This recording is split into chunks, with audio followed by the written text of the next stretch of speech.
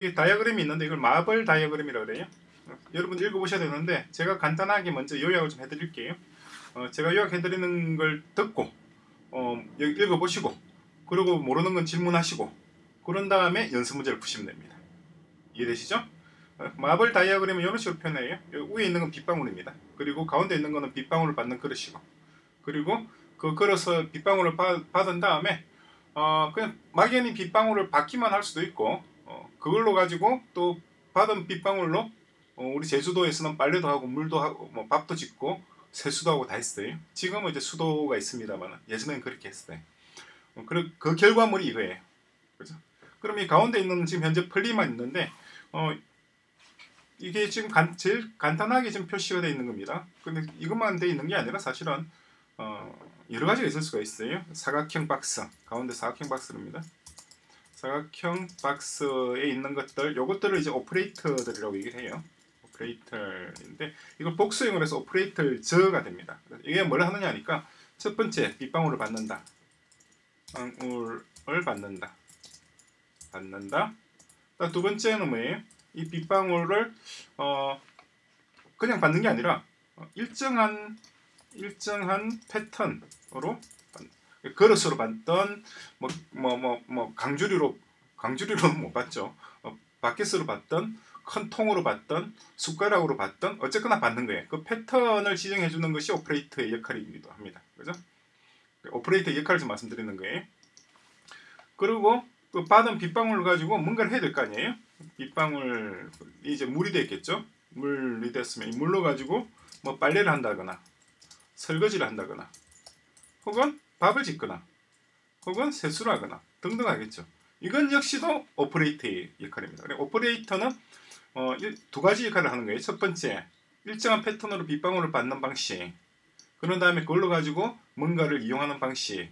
그런 다음에 결과물이 튀어나오게 되는 거죠. 그죠? 어. 자, 그러니까 이 그림에서 보면은 이 결과물이 밑에 있는 요겁니다. 그죠? 결과물이고. 오퍼레이터는 어, 하나 이상이에요. 네, 그 오퍼레이터는 하나 이상이다. 오퍼레이터는 하나 이상. 그러니까 하나만 있어가지고 제일 단순한 작업을 할 수도 있고 이게 두 개, 세 개, 네 개, 다섯 개, 열 개가 모여서 좀 더 복잡한 걸 작업을 할 수가 있죠. 그 요, 이 흐름은 기본적으로 우리가 어, 여러분들이 나중에 생산 우리가 일을, 지금 공부를 하는 이유는 일을 하기 위한 거잖아요. 일을 하는 메커니즘과 똑같습니다. 우리가 일을 어떻게 하느냐면은 모든 회사나 공장에는 원자재를 받아요. 원자재를 받고 그런 다음에 거기다가 어, 프로세싱 공정이 투입이 됩니다. 그죠? 가공을 하는 거죠. 그런 다음에 상품이 되는 거죠. 근데 공정 자체가 다양할 수가 있는 거죠. 그죠? 원자재도 다양하고 공정도 다양하고 상품도 다양합니다. 원자재를 우리는 observable이라고 하는 것이 observable이 공급합니다. 얘가 이 공급하고 공정은 operator가 가공 operator 그러니까 하나 이상이죠. 하나 이상의 operator operator들이 가공 가공하고 그런 다음에 마지막 상품이 나오는 것이 어, 우리가 원하는 데이터예요. 우리가 원하는 데이터. 그죠? 흐름은 똑같아요. 그리고 기본적으로 우리 회사나 공장에 들어가게 되면 원자재를 받고 누군가 받죠. 그걸 원자재를 공급해주죠. 이 사람이 어버저버블이라고 하는 것이 원자재 공급자고 그것을 받아서 뭔가 뭐 두드리고 펴고 망치질한 다음에 그런 다음에 밥이 되든 죽이 되든 뭔가 떡이 되든 뭐가 나오는 거예요. 그죠? 그 흐름을 그냥 그대로 가지고 오는 게이 어버저버블입니다. 뭐 별건 없어요. 그죠? 그런데 이것이 그럼 기존에 있던 우리 펑션들 배운 것과 뭐가 다르냐는 거죠. 뭐가 다르냐면은 간단히 요약만 하자면은 간단히 요약만 하자면은 기존 우리 지금까지 공부했던 펑션 펑션이라고 하는 것은 어, 짜장면을 예를 들면은 밀가루 반죽을 하는 거예요. 밀가루 반죽을 한다. 반죽을 한다. 짜장면을 시킨다. 아니죠. 만든다. 뭐 면을 뽑는다. 면을 뽑는다. 그런 다음에 어, 짜장 소스를 만든다. 소스를 만든다. 그런 다음에 뭐 둘을 비빈다. 뭐 이렇게 이런 식으로 이제 function들이 진행이 돼요. 하나 하고 또 다음에 하나 하고 또 다음에 하나 하고 이렇게 하는 거예요. 이걸 imperative라고 얘기를 합니다. imperative. 용어들을 잘 익혀두세요. 아, 죄송합니다. imperative 방식이라고 얘기를 해요. 그런데 이제 어버저버벌은 좀 다르게 해보려고 하는 거예요. 이거 어버저버벌이 뭐 새로운 것도 아니고 이 처음도 아니에요. 다른 데서 이미 많이 쓰이던 건데 이건 어떻게 하느냐니까 짜장면을 시킨다. 짬뽕도 시킨다. 치킨도 시킨다. 아, 여기다가 파티를 한다. 파티를 한다. 이렇게 된 그죠? 그런 다음에 먼저 도착하는 것들만 하나씩 테이블에 올리는 거예요. 먼저 도착하는 순서로 테이블에 세팅. 그 펑션은 자기가 직접 다 하는 거고 어브저버블은 남한테 시키는 거예요. 그리고 펑션은 직접 하는 거라고 하면 되고 임페러티브 이걸 직접 하는 거예요. 직접 내 손이 내 딸. 내 손이 내 딸. 이게 여러, 무슨 말인지 잘 여러분 잘 모를 거예요. 어 근데 좀 저같이 어, 아주 정말 어, 연식이 좀 된 사람들은 어릴 때 이런 말을 많이 듣고 살았어요. 직접 다 한다는 거예요. 직접.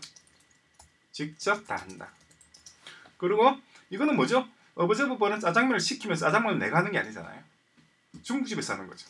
이걸 declarative라고 얘기합니다. declarative. 그래서 이거는 어, 내 손이 내 딸이 아니고 내 딸이 내 딸이죠. 내 딸이 내 딸. 딸한테 시키는 딸에게 시킨다. 딸에게 시킨다는데 이게 지금은 이제 이제 지금은 이렇게 하면 안 되죠. 지금은 어, 남자와 여자가 가사노동을 다 같이 분담해서 해야 되고 우리 교육도시 같은 경우에는 집에 가사노동 자체가 없어요. 네? 교육도시라고 이름 들어보셨나요? 여러분들이 지금 공부하는 이유는 제가 여러분들에게 이걸 공부를 시키고 어, 가르쳐주는 가르쳐주는 이유는 교육도시를 건설하는 데 참여하라는 거예요. 그죠? 이 교육도시는 음, 집에서 가사 노동을 하지 않습니다. 가사 노동을 안 해요. 누가 하느냐면 도시에서 합니다. 도시의 공공 서비스로 제공. 공공 서비스가 가사 노동이 되는. 자, 이거는 쓸데없는 옆에 지나가는 말입니다. 지우고. 어. 그 예전에는 이랬단 말이에요. 예전에는 가사 노동을 엄마와 딸 여성이 담당했어요. 죄송합니다. 여성이 담당을 했어요. 지금은 그렇지 않다는 거 다시 말씀을 드립니다. 자, 어쨌거나 이 데코레티브는 짜장면도 시키고 짬뽕도 시키고 오면은 오는 대로 테이블에 세팅을 하는 거예요. 그죠? 그럼 누가 먼저 도착하는지 요걸 받아주기만 하는 거죠. 그죠? 그럼 만드는 누가 만드느냐? 만드는 게 어버저버벌입니다. 어버저버벌이 만들고 이게 지금에 치면 딸이라고 그러면 그렇고 중국집이고 그리고 이걸 이제 어, 받는 게 observer예요. 누구한테 주느냐니까 observer. observer. 이 사람이 누구냐니까 테이블 세팅하는 사람. 테이블 세팅. 요게 이제 declarative 패팅 패턴이라고 해요. 차이점이 이렇게 되는 거예요. 그래서 이제 요거는 이제 asynchronous라고도 또 얘기를 합니다. 왜 asynchronous가 되느냐니까 싱크로너스 용어들을 잘 짚어두세요. 싱크로너스라고 하는데 요거는 하나 하고 그죠? 되면은 그 다음 거 하고 요게 돼야지 요걸 하고 되면은 비비고 다음에는 파티하고 시간적 순서대로 땅땅땅땅땅 하나가 되면 하나 하고 하나가 끝나면 다음 넘어가고 하나가 되면 끝 넘어가잖아요. 그런데 어싱크로너스는 어떻게 돼요? 짜장면 시키고 짬뽕 시키고 치킨 시키고 피자도 시키는데 어떤 게 먼저 올지는 모르죠. 그건 중국집 사정에 달려 있고 피자집과 치킨집 사정에 달려 있죠. 어쨌거나 먼저 도착한 대로 테이블에 딱딱 세팅해 나가는 거잖아요. 요걸 asynchronous라고 얘기합니다. 주로 declarative는 declarative 자체가 asynchronous가 아니라 주로 어울리는 개념이 asynchronous랑 어울린다는 거죠. 그리고 observable 자체도 observable 자체는 지난 에피소드에도 말씀을 드렸습니다만 이것 자체는 synchronous입니다. 이거 자체는 synchronous예요. 그런데 어싱크로너스와 어울린다는 거죠. 어싱크로너스. 머스와 어울리는 패턴이다 하는 거죠. 와 어울리는 패턴. 와 어울리는 패턴. 그 자체가 어싱크로너스라는 게 아니라 이것과 어울리는 패턴. 패턴. 또 어울린다라고 하는 말이 보니까 어 그죠. 딱 떠오르는 고사성가 있었던 것 같은데 뭐가 떠오르나요? 어울린다. 어울림. 어 어울림. 그렇죠. 어. 떠오르는 게 소위는 이 이와 어울리고 이 이라고 하는 것은 한자로 쓰면은 이익을 말하는 거예요. 이익할 때 돈을 말하는 거죠. 돈과 어울리고 대인은 의와 어울린다. 의와 붙한다 이 말이죠. 의 의라고 하면 뭐 의디 뭐 어, 의거 뭐 이런 거 할 때 의를 말하는 거예요. 어울린다. 어울린다 하면 붙하고 대인은 붙한다. 라고 하는 그런 어 그게 있어요. 누가 한 말이냐니까 중국의 유명한 어, 아이돌 그룹이 공자 그룹이라고 있었는데 공자라고 하는 공장이 아니고 얘기입니다. 자, 이것도 역시 또 지나간 말이고 자, 이렇게 되는 것이 기본적인 개념. 그죠? 요 개념들을 보시고 요 개념들을 제가 말씀을 자꾸 드리는 이유가 요걸 알아야지 머릿속에 딱 정리가 돼야지 연습 문제를 풀어요. 연습 문제가 복잡해요. 어, 막 연습 문제 풀다 보면 머리가 막 꼬여버린단 말이에요. 어, 꼬이지 않으려면은 지금 제가 드리는 말씀 잘 이해하고 그리고 여기 있는 이 내용들을 완전히 다 보셔야 됩니다. 다 읽어보시고 제가 한 일일이 읽지는 않을 거예요. 이게 무슨 영어 수업도 아니고 한 문장 읽고 한 문장 뭐 해석하고 할 필요는 없잖아요. 제가 지금 설명드린 내용을 기초로 해서 여기 있는 거 읽어보시면 여러분들이 이해가 되실 겁니다. 만약에 이해가 안 되는 부분이 있다. 그러면은 어, 저한테 질문하시면 되죠. 저한테 하는 게 아니라 우리 공부방 공부방 들어와서 질문하시면 돼요. 그리고 next complete error 이거는 누가 역할이냐니까 이 어버저버블의 역할이에요. 얘는 next 그리고 error 그리고 complete 이것을 신호를 접수합니다. 누구로부터 접수하느냐니까 얘로부터 중국집으로부터 접수하는 거예요. 그 무슨 말이냐니까 음식이 도착했습니다. 그러면은 얘는 중국집이라기보다는 뭐 뭐라고 해야 되나요? 그 음식을 음식 서, 배달 서비스 오케이 그게 맞네 배달 배달 서비스 요즘 배달 서비스 많잖아요. 이 배달 서비스가 알아서 중국집에서 뭘 가져오고 뭐 짬뽕도 가져오고 치킨도 가져오고 뭐 다 가져오는 거예요. 그런데 배달 서비스가 observer에게 얘기하는 거예요. 짬뽕 왔습니다. 그러면 next. 치킨 왔습니다. next. 피자 왔습니다. next. 그런데 observer에게 얘기할 수 있죠. 어 중국집이 지금 사람이 밀려가지고 도저히 음식을 그때 못 만들겠대요. 다음에 시켜달라고 합니다. 에러. 그죠? 그리고 어버저버에게 음, 어, 배달 서비스에게 좀 말씀하신 짜장면, 짬뽕, 치킨, 피자 다 도착했습니다. 하면 컴플릿 되는 거예요. 간단하죠? 예, 요 개념입니다. 어, 제가 생각해도 제가 예전에 중국집에서 일을 좀 해서 그런지 몰라도 어, 계속 예제를 들려드리면 역시 사람은 자기의 경험에 기초해서 어, 예제가 생각이 나나 봐요. 자, next. 어, 뭐 지나가는 말이긴 합니다만 제가 어, 또 예전에 요리사로서 조금 일을 했습니다. 자, complete 있고 그다음에 unsubscribing은 아, 그러면 이거는 뭐냐니까 어, 이거는 어, 어브저버가 어, 배달 서비스에게 됐습니다. 이제 그만할게요. 이렇게 딱 끝 하는 것이 unsubscribing. 그죠? 그리고 cold라고 하는 개념이 있어요. cold 그리고 connect라고 하는 거 있는데 세 가지 간단한 개념입니다. hot 앞으로 자주 보게 될 거예요. hot이 무엇이냐 하는 건데 hot은 어, 일단 스타트 그러니까 이 배달 서비스로 쓴다 그러면은 이게 좀 특이한 건데 예? 주문자가 있든 말든 주문자가 있든 말든 어, 피, 짜장면과 짬뽕과 피자와 치킨을 줄줄이 줄줄이 보내주는 거예요. 그러니까 쉽게 말하면은 스시집, 회전 스시집, 회전 스시, 그죠? 회전 스시집 가보셨나요? 여러분 아직 가보신 적이 없을 수도 있겠다. 회전 스시.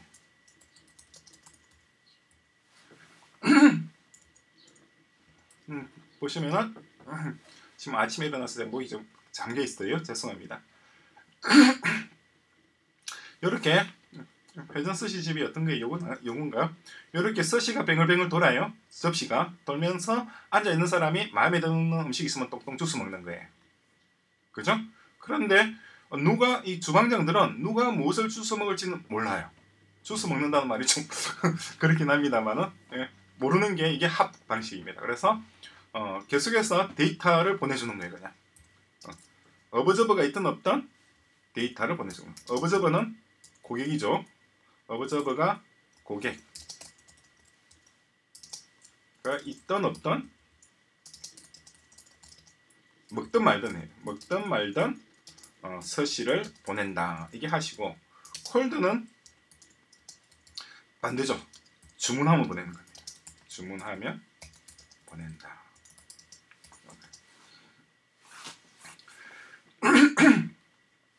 그 일반적인 일반적인 횟집, 그 일반적인 일식집, 가장 일반적인 식당. 그죠? 그럼 고객이 주문하면 주문하면 식사를 준비하는데 그러면은 자 여기 두 개 차이점이 있어요. 어떤 차이점이 있느냐니까 이 콜드 같은 경우에는 어떤 고객이 주문하든 항상 똑같은 모든 고객이 같은 그러니까 같은 메뉴를 주문한 같은 하나의 어, 동일한 메뉴, 동일한 메뉴를 주문한 모든 고객이 같은 식사를 받는 식사를 받는다. 그런데 회전서시는 어떻게 되나요? 테이블에 안, 테이블에 앉으면은 앉는 순서대로 앉는 순수에 따라 메뉴가 달라지죠. 메뉴가 달라집니다. 예를 들어서 어, 참치는 일찍 온 사람은 참치의 뱃살을 먹었는데 늦게 온 사람은 참치 뱃살은 다 떨어져 버렸잖아요. 그러면 참치의 다른 부위 등이나 꼬리 부분을 먹게 되는 거죠. 그게 합 방식입니다. 그리고 커넥트라고 하는 것도 있어요. 커넥트라고 하는 거는 이거는 핫하고 또 콜드하고 달라요. 뭐 주문하고 콜드에 좀 더 가깝습니다. 콜드에 가까운 방식. 콜드에 가까운 방식인데 가까운 방식. 일단 주문을 다 받아요. 모든 고객으로부터 주문을 다 받아줍니다. 받는다. 그런 다음에 일괄적으로 요리해서 제공. 이거는 고객이 주문하면 고객마다 그죠? 고객마다 고객마다 주문을 하면 그죠? 여기 커넥터 방식 이세 가지로 어, 하면은 딱 떨어집니다. 자 나머지들은 체이밍 오퍼레이터 같은 경우는 무슨 말이냐니까 공정을 합친단 말입니다. 공정을 합친다는 것은 어, 빗방울 우리 받았었잖아요. 빗방울 받은 다음에 그걸로 가지고 빨래를 할 수도 있고 설거지를 할 수도 있고 뭐 밥을 지을 수도 있고 이렇게 할 수가 있죠. 그것들을 여러 가지 하나를 하는 것이 하나의 operator라고 한다면은 여러 개의 operator를 합쳐서 하나의 공정을 만들어낼 수가 있죠. 일이 좀 더 복잡한 공정일수록 operator들이 여러 개가 아, 서로 조합해서 작품, 결과물을 만들어낼 수가 있죠. 그죠? 사실 어버저버 패턴의 제일 큰 강점, 이걸 쓰는 이유는 여러 개의 오퍼레이터들을 합쳐서, 그죠? 합쳐서 어, 정교한 결과물을 만들어낼 수 있다라고 하는 것이 이 가장 큰 강점이고 장점이고 목표입니다.